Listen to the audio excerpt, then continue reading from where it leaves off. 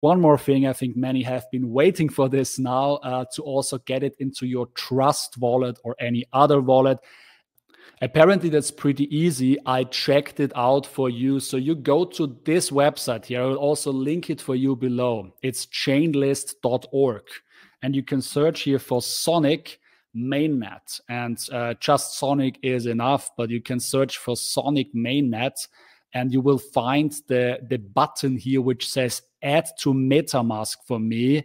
Uh, but this is just because i'm using metamask here on my computer. But if you go to your own trust wallet go to your trust wallet and go to the discovery uh, section there where you have a browser and you just type chain list this name here chainlist.org and then you can get to the same website and you can add it to the trust wallet just with this button. And this works for plenty of other wallets. If it doesn't work for your wallet i'm very sorry. I mean not every wallet might uh, support this uh, browse feature in that same uh, way but uh, yeah they will add it soon. I'm pretty sure sonic will grow and most wallets will add it if you did the migration properly and i will link it uh, here uh, now uh, after this video it will pop up here. I will link it for you how to migrate.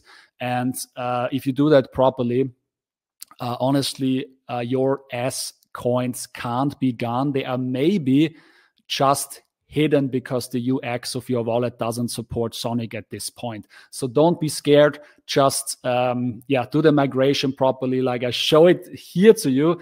And uh, thank you so much for all the 935 subscribers that I have now.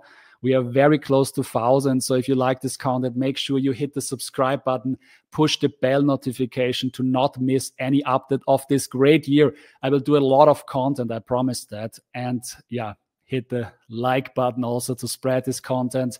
All the best, your Alex.